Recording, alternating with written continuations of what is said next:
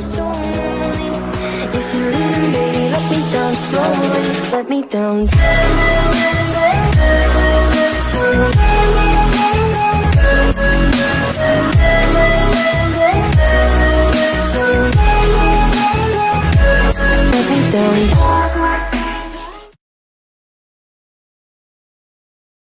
Seeing his grandson defeated with just one move, not to mention that his cultivation pace was still below his grandson had, made Subhadyan recognize Lin Yan's great potential and apologized for his previous treatment. Mimin Awi here guys, in this video, Mimin will presenting Manhwa Heavenly Spirit Martial King chapter 386.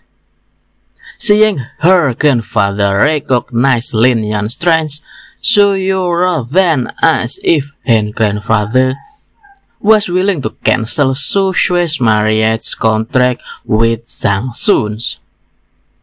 Subhadyan then said that it was natural.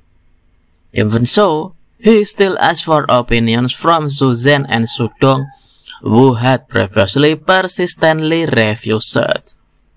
After looking at each other for a while with his father, Sudong has no objections to the cancellation for the marriage contract.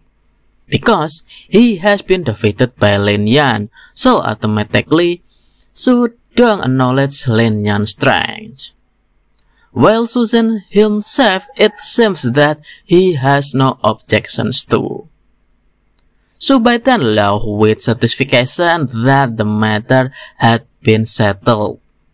He then wants to take Lin Yan tomorrow morning to Zhang Mansions to explain the matter clearly. And because he must have been tired on the way from Dark River Mountain to Shu Mansions, so Batian asking Su Shui to take Lin Yan to have a rest first.